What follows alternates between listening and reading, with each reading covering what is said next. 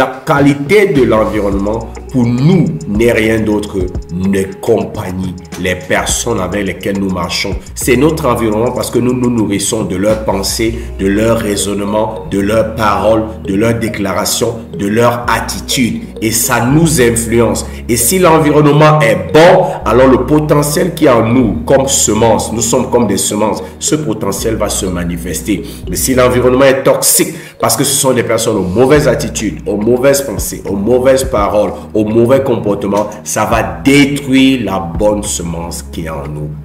Salut YouTube, salut Facebook, salut auditeurs de notre podcast. Ici c'est Zoé du Cameroun. Toujours un plaisir d'être avec vous dans cette nouvelle session encore. Nous voulons partager comme à l'habitude les pépites, les informations, la sagesse pour nous aider à réaliser le succès qui pour nous ne se résume pas seulement à l'accumulation des biens matériels et à l'argent, qui sont bien, mais pour nous le succès, c'est accomplir l'intention de notre création, c'est-à-dire notre raison d'être, en utilisant notre potentiel de manière productive. C'est pour dans nos vidéos, vous allez, tu vas te rendre compte que nous nous focalisons le plus sur la productivité personnelle, la croissance personnelle, le développement personnel, parce que nous pensons que ce sont des clés majeures qui vont nous aider d'aller de là où nous nous trouvons en ce moment vers la vie de nos rêves. Et aujourd'hui, comme à l'accoutumée, je veux partager avec toi quelque chose qui, je crois, va faire toute la différence. En fait, pour ceux qui suivent depuis un certain temps, vous savez que ça fait près de trois mois que nous avons commencé une série intitulée Ma vie ne marche pas, je suis coincé, dans laquelle nous allons de cause en cause probable de notre échec, du fait que nous soyons frustrés, du fait que notre vie ne marche pas, du fait que nous n'avons pas les résultats que nous désirons.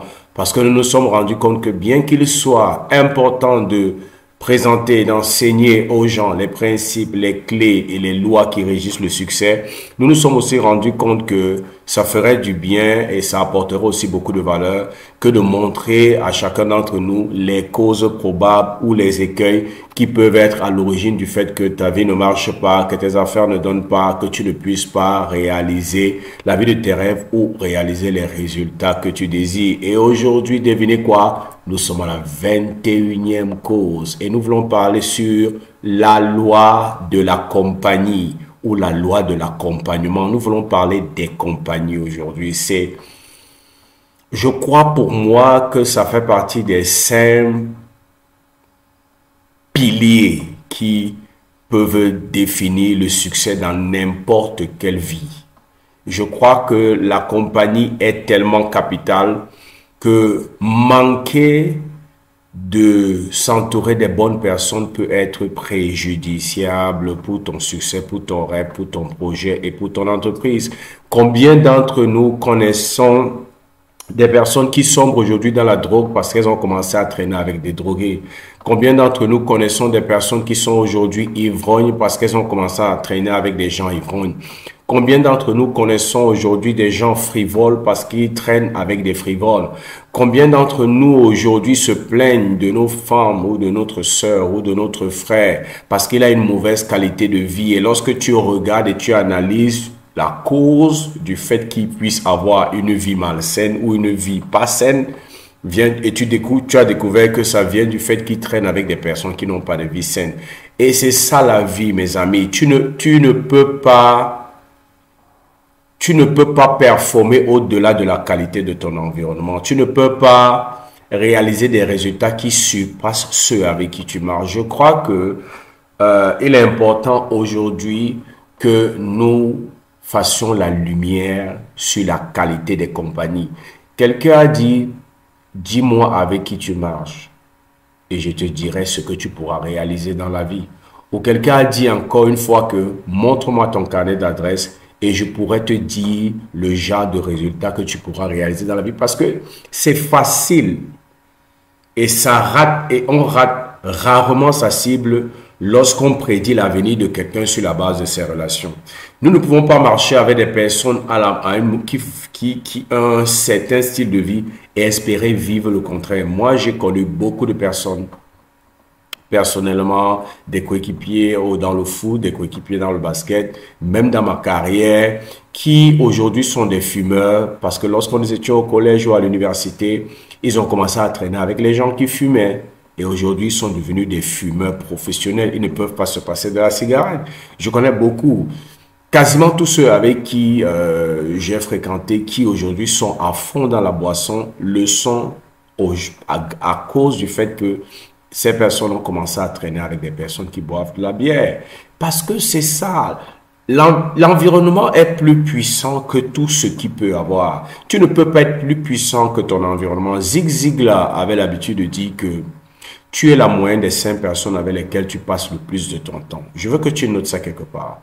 Tu es la moyenne des cinq personnes avec lesquelles tu passes le plus de ton temps. Si tu passes le plus de ton temps avec les médiocres, tu ne peux pas produire des résultats excellents. Et je suis offusqué des fois même de comprendre que jusqu'à présent, il y a des personnes qui ont atteint un certain âge et qui ne se rendent pas compte que la source de leur échec, c'est leur compagnie. Le fait qu'ils ne puissent pas réaliser des résultats extraordinaires, c'est leur compagnie. Le meilleur moyen de commencer à voir ta vie changer et tes résultats s'améliorer, c'est de changer de groupe, c'est de changer de compagnie, c'est de changer les personnes avec lesquelles tu traînes. Prenons un exemple. Si aujourd'hui, tu commences à marcher, par exemple, avec les personnes qui sont les plus performants dans ton domaine d'activité là où tu te trouves, crois-tu réellement qu'après un an, cela fera toute la différence? Moi, je peux te dire oui. Parce que tu ne peux pas traîner avec des personnes performantes sans à un moment pouvoir, comme on dit en anglais, pick their brain. Ça veut dire que sans à un moment commencer à penser comme eux, commencer à voir comme eux, commencer à apprécier la vie comme eux, commencer à anticiper les événements de la vie comme eux et commencer à agir comme eux. Dans tout ce que j'ai pu faire dans ma vie, l'une des choses qui a toujours fait la, fait la différence, c'est le fait que partout où j'arrivais, je fais toujours tout pour commencer à marcher avec les plus performants. La même chose dans le foot. La même chose lorsque j'ai fait la musique gospel. J'ai commencé à marcher avec des personnes que je trouvais plus performantes que moi. Et toutes les fois que j'ai fait ça, ces personnes m'ont tiré vers le haut. Parce que tu vas toujours aller dans le sens de la qualité de ton groupe. Si tu marches avec un groupe médiocre, tu seras médiocre. Si tu marches avec un groupe de personnes performantes, elles vont te tirer vers le haut. Je me souviens lorsque je j'ai joint ce groupe de gospel où les personnes étaient vraiment performantes. Et lorsque j'ai joint ce groupe, rejoint ce groupe, J'étais, j'étais carrément le moins performant de tout le groupe, mais l'émulation qu'il y avait dans ce groupe, l'esprit d'excellence qui animait les gens de ce groupe, la discipline de travail, la passion pour la musique m'a été contaminée sans que je ne m'en rende compte. Et moi aussi, j'ai commencé à devenir passionné, j'ai commencé à devenir discipliné, j'ai développé une discipline de travail et après un certain moment, mes résultats ont commencé à devenir aussi extraordinaires. Pourquoi? Parce que j'ai mis à profit la loi de la compagnie. Ceux avec qui tu marches vont déterminer si oui ou non tu réussiras dans la vie. Si tu veux réussir dans la vie, tu dois avoir le courage de pouvoir dire non aux mauvaises compagnies. Il y a des personnes je ne sais pas où c'est un contrat qu'elles ont signé avec leur ami d'enfance. Je ne comprends pas. Il y a des personnes qui sont tellement focalisées sur leur ami d'enfance, même lorsque ces amis sont négatifs, même lorsque ces amis sont médiocres. Mon ami, tu n'as un contrat avec personne. Mon ami, tu ne dois rien à personne. Si à un moment tu te rends compte qu'une compagnie ne sert pas tes objectifs, ou plutôt qu'une compagnie, plutôt que de t'élever et de t'amener vers le haut, est toujours en train de te ramener vers le bas, ou plutôt de te conduire vers des choses positives, est toujours en train de t'entraîner vers des choses négatives, ta responsabilité, c'est de t'en séparer.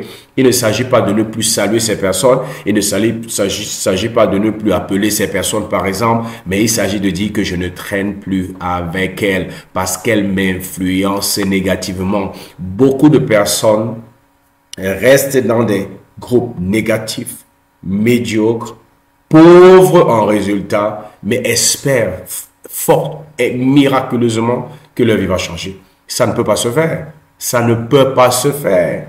L'un des prérequis, si tu veux voir ta vie changer, c'est de redéfinir les personnes avec qui tu marches. Si tu marches avec les personnes performantes, tu vas devenir performant. Ça va t'influencer. Si tu es dans un groupe de personnes performantes, tu as deux choix possibles. Soit tu restes dans le groupe et forcément tes résultats vont changer, ta manière de penser va changer, ta manière d'apprécier la vie va changer. Soit tu ne supportes pas et tu vas quitter. Dans le groupe musical dans lequel j'étais ou dans l'équipe de basket dans laquelle j'étais, j'ai vu ça arriver plusieurs fois. Des personnes qui intègrent le groupe et à un moment donné, à cause du niveau d'excellence qu'il y a dans le groupe, à cause du niveau d'exigence qu'il y a dans le groupe, à cause du niveau de discipline qu'il y a dans le groupe, certaines de ces personnes préfèrent se retirer parce qu'elle ne veut pas suivre le rythme. Mais lorsque tu es quelqu'un qui veut voir ta vie changer, lorsque tu es quelqu'un qui veut aller loin, il est important que tu définisses de manière intentionnelle quelles sont les personnes qui vont marcher avec toi. Tu ne peux pas vouloir réaliser quelque chose d'extraordinaire. Tu ne peux pas vouloir réaliser une vie remarquable. Tu ne peux pas vouloir être une personne qui va inspirer les autres et c'est toi qui traînes avec les gens qui dorment dans les bars. C'est toi qui traînes avec les gens qui ont une vie mauvaise. C'est toi qui traînes avec les gens frivoles, les gens qui escroquent, les gens qui sont toujours en train de critiquer. Et tu espères que ta vie va changer comment? Nous savons tous que les résultats d'un homme viennent de ses actions. Mais les actions d'un homme sont déterminées par son type de pensée par ses motivations et ses aspirations.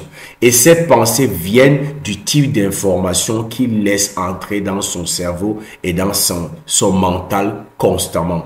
Lorsque je suis avec des personnes qui parlent médiocrité, le pays est gâté, les blancs nous ont tout arraché, on ne peut pas réussir, c'est mauvais et euh, il n'y a plus d'opportunité pour nous. Lorsque je reste avec ces personnes, je commence à suivre ce genre de langage, ça va formater mon mental et c'est ainsi que ça va développer en moi une vision négative de ma nation, négative de ma vie, négative de mes conditions, négative de tout ce qui peut exister. Et moi aussi, je vais voir que il n'existe pas d'opportunité. Vraiment, le pays est gâté. Vraiment, la condition, notre condition est déjà scellée. On ne peut rien changer. Et je vais rester dans cet état de médiocrité.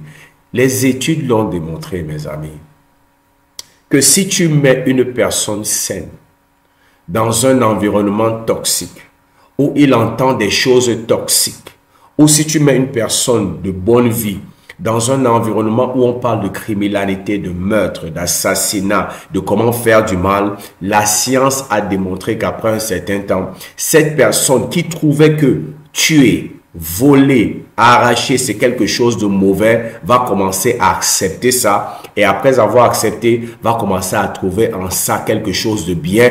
Et à la fin, va commencer à pratiquer ça. Si tu laisses un enfant dans un environnement malsain, tu vas venir trouver une personne malsaine. Parce que rien n'est au-dessus de l'environnement. Laisse-moi te donner cet exemple.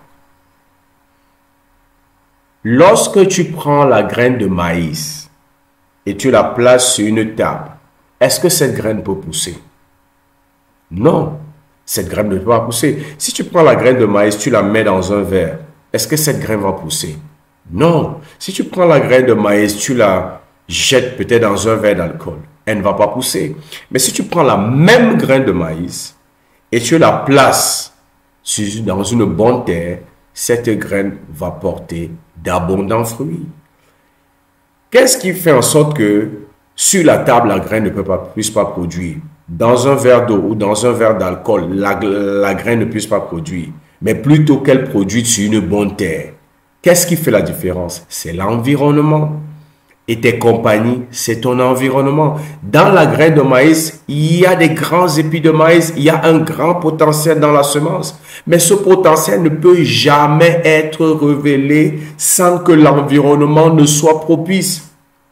C'est pour ça qu'en agriculture, tu peux garder toutes les semences dans tes mains, ça ne deviendra jamais un grand champ. Tu peux garder toutes les semences dans tes mains, ça ne deviendra jamais un grand jardin. Si tu veux que ces semences puissent relâcher, si tu veux que le potentiel qui est dans ces semences puisse être relâché au point que tu puisses avoir une grande récolte, il faut que tu trouves un bon milieu, un bon environnement dans lequel tu vas placer ces semences. Quel que soit le potentiel qu'il y a dans une semence, la semence va toujours se comporter en fonction de la qualité de l'environnement. Si tu mets une semence dans un mauvais environnement, tu auras un mauvais rendement. Si tu mets une semence dans un environnement euh, stérile, elle ne va, cette semence ne va rien produire. Mais si tu mets cette même semence dans un environnement propice, une, dans une terre fertile, cette semence va produire en abondance. C'est le même potentiel, c'est la même semence, mais ce qui fait la différence, c'est la qualité de l'environnement.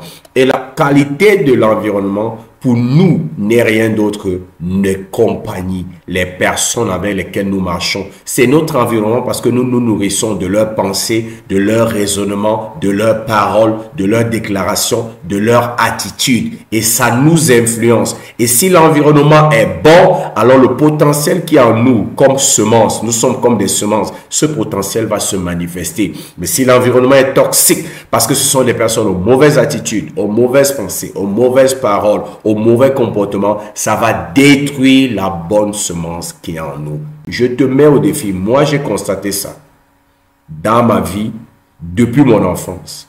Que presque tous ceux qui jusqu'aujourd'hui, avec lesquels j'ai grandi, presque tous ceux qui ont raté leur vie, je peux retracer leur échec au fait qu'à un moment donné, ils ont commencé à traîner avec les mauvaises personnes. Si tu es d'accord avec moi, tu peux mettre d'accord en commentaire. Tout, je peux retracer l'échec de la quasi major, la quasi-totalité des personnes avec lesquelles j'ai grandi. Je peux retracer leur échec avec le fait qu'à un moment donné, ces personnes ont commencé à traîner avec les personnes de mauvaise compagnie et de mauvaise vie. J'ai des personnes que je connais aujourd'hui qui sont fous carrément fous et qui marchent en route. Sont des personnes, lorsqu'on était à l'école primaire, qui étaient des personnes intelligentes, pleines de potentiel.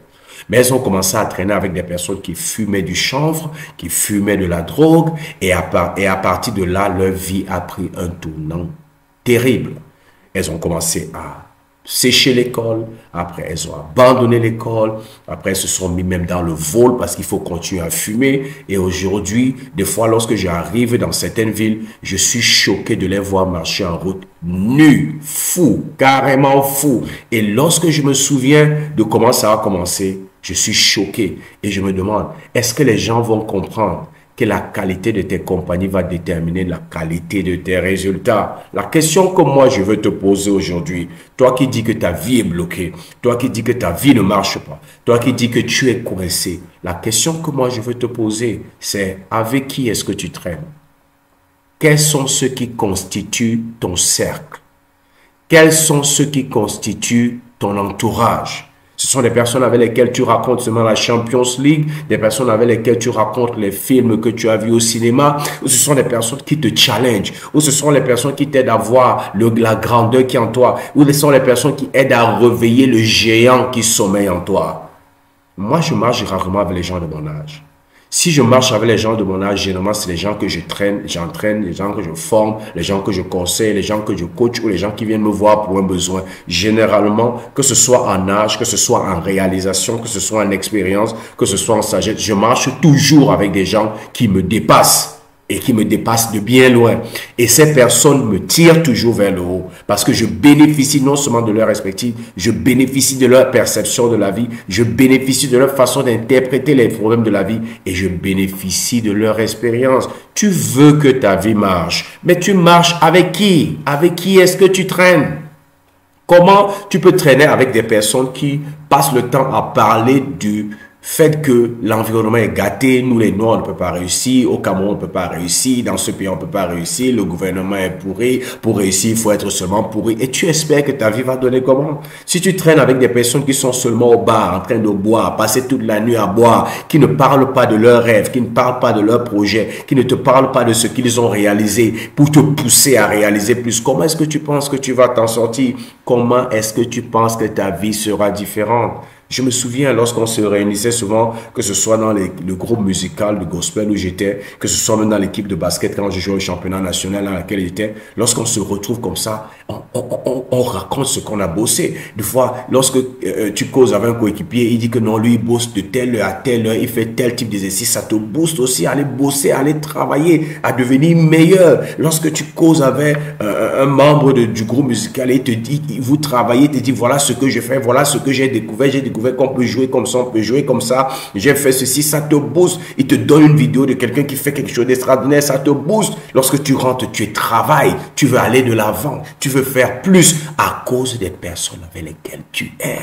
Tu marches avec qui? Les ivrognes? Tu marches avec qui? Les personnes qui ne voient pas, qui, qui n'ont aucun rêve? Ça, c'est l'une des, des premières qualités. Tu marches avec qui? Les personnes, parce que c'est très dangereux de marcher avec des personnes qui n'ont aucun rêve. Parce qu'une personne qui n'a aucun rêve ne va rien faire pour changer sa condition. Tu marches avec qui? Et ce qui est terrible que j'ai remarqué, c'est que beaucoup de personnes qui marchent et qui traînent avec des personnes médiocres ont développé cette tendance à accuser le reste du monde pour leur déboire. Si ça ne marche pas dans leur vie, c'est à cause des parents, c'est à cause des amis, c'est à cause du système euh, dans lequel nous sommes, c'est à cause du gouvernement, c'est à cause des Blancs, c'est à cause de Macron, c'est à cause de Joe Biden, c'est à cause de Xi Jinping, c'est à cause de tout le monde, sauf d'eux-mêmes.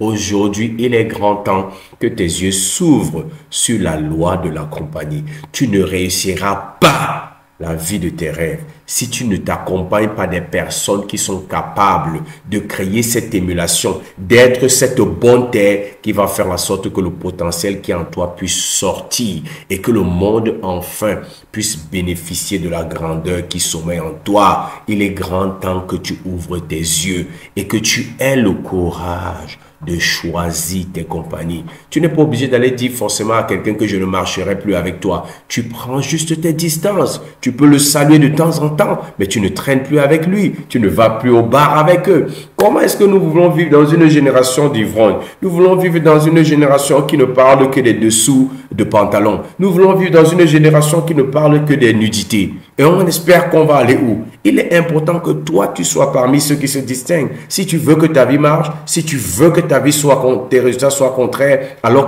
alors démarque-toi du reste et Choisis, choisis de traîner avec des personnes conséquentes, des personnes qui ont des rêves, des personnes qui vont quelque part, des personnes qui vont, vont te tirer vers le haut, des personnes qui vont t'amener à donner le meilleur de toi-même et à devenir une meilleure version de toi-même jour après jour. C'est ça que je voulais causer avec toi aujourd'hui, c'est ça que je voulais partager avec toi. La cause numéro 21, la loi de la compagnie ou de l'accompagnement. N'oublie pas ce que Zig Ziglar dit. Tu seras, tu es et tu seras toujours la moyenne des cinq personnes avec lesquelles tu traînes le plus. Les personnes avec lesquelles tu traînes, c'est c'est ton environnement. Tu es la semence, quel que soit le potentiel qui est en toi, tu ne produiras jamais ce potentiel si l'environnement, ça veut dire tes compagnies ne sont pas des compagnies de qualité parce que une, de mauvaises compagnies vont produire de mauvais résultats dans ta vie. J'espère que tu as obtenu de la valeur de cette vidéo. C'est un plaisir pour moi d'être avec toi. N'oublie pas, abonne-toi à notre page Facebook, abonne-toi à notre chaîne YouTube, abonne-toi à notre podcast, like la vidéo, laisse des commentaires, partage afin que le plus grand nombre en, soit affecté parce que je compte sur toi pour toucher le plus grand nombre. J'espère que tu as obtenu de la valeur comme j'ai toujours l'habitude de dire. C'était Zoé du Cameroun je te souhaite du succès.